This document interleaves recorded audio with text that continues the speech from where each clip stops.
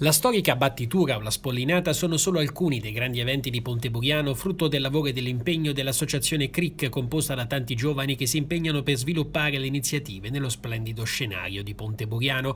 L'associazione nei giorni scorsi ha visto rinnovare le cariche. Il presidente è Renato Viscovo, suo vice Giacomo Cannoni. I consiglieri sono Elena Ducci, Gualberto Gualdani, Maurizio Lumachi, Sauro e Stefano Nucci, Angelo Palazzini e Roberta Rossi. Sicuramente continueremo con eh, l'andare avanti e proseguire nel modo corretto, eh, più chiaro sicuramente e, e, continuare a far divertire le persone che frequentano il Ponte Buriano, continuarli a far stare bene, soprattutto a ampliare una cultura generale con eventi che, che attirano un po' entrambi, entrambi le età, sia giovani che un po' di età più avanzata.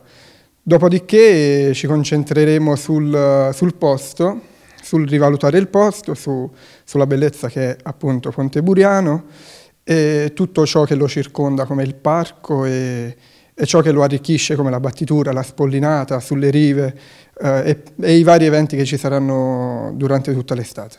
Tre progetti futuri, quello della valorizzazione del Ponte della Gioconda e del Museo Pietro e Laghetino. Sicuramente cercheremo di aumentare turismo qui a Ponteporiano e soprattutto un'evoluzione a livello culturale che ad oggi abbiamo solo qui nel museo dedicato a Leonardo e l'Aretino e sicuramente con la cooperativa cercheremo di divulgarlo al massimo.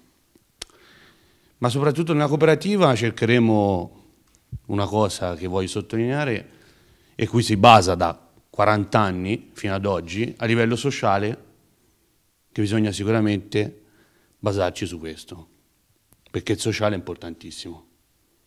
Noi abbiamo 150 soci in questa cooperativa e bisogna cercare di essere più trasparenti possibile, non solo ai solo 150 soci, ma anche a tutto il paese, sia quello di Ponte Burano che quello di Cincelli.